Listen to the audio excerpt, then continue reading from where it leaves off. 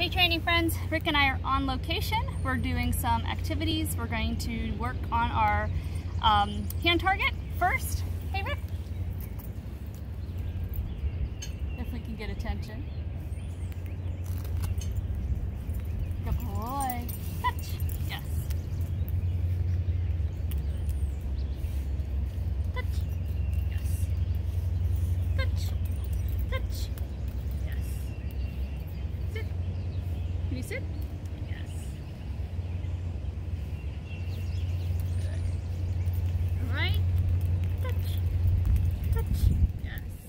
You can see how it'll follow me through the hand. Yes. This is really nice to see him working outside in a different environment. Touch. Yes. And remember, a nose touch is a touch of the nose to the hand. Touch. Yes. You can all see how cute this is and how good he's doing. Rick? Yes. One more? Yes. Good job. All right, so hand touch on location.